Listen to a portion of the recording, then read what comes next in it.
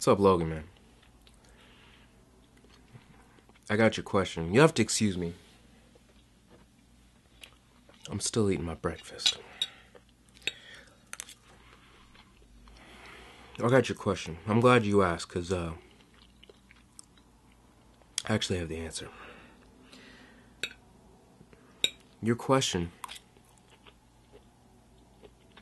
Let me see what this says.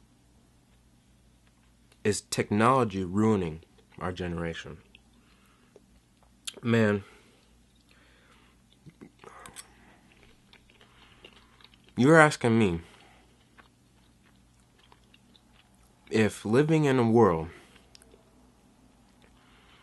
where you can carry a computer in your pocket and you can talk to them via video, you can see the person that you're talking to. You're telling me that you're questioning whether that is totally awesome or not? Man, you don't know how to appreciate stuff. but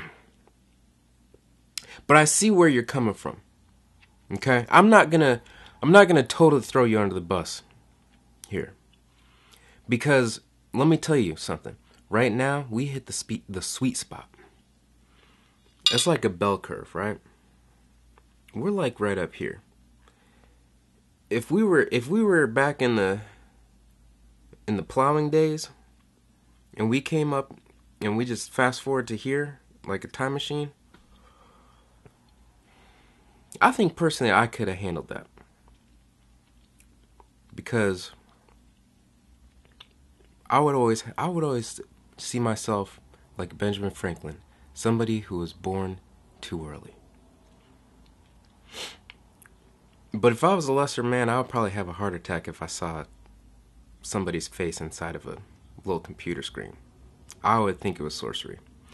But right now, I think we're in the sweet spot. Here's where it gets tricky down the road. You ready for this? Singularity. That's when machines become self aware or when they start like making themselves.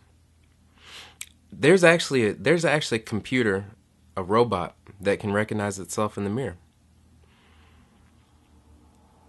They that's crazy, man. There's computers that can beat people in Jeopardy. There's there's compu- there's computers that can be inserted into the brain of a bonobo and read its thoughts. So I think when we get too far in that direction, it'll be cool for a while, but man, it's gonna it's gonna wear thin. And we're probably gonna destroy the planet in the process. Look, they say that a, a, a civilization so advanced that it could travel to another space and time, another planet with life on it, that they probably were doing it out of necessity because they destroyed and used up all the resources. And so they got into a uh, spaceship, BSG style. They said frack it, and they and they and they left to a new, a new Earth. That's not in our generation, man. So for now, just keep on keep on using the technology, man. Get get Snapchat chat up a Snapchat a girl. They love sending cute faces all the time. Use that technology to your advantage, man. Take some take some Snapchats while you're in the gym. I see I see a lot of dudes do it. They're on a weight machine and, and they're sitting there like this. Making faces. Like that. On a weight bench. Did you ever think about that? If you want it, if you want to move, move if you want it. Put your ass in the microwave.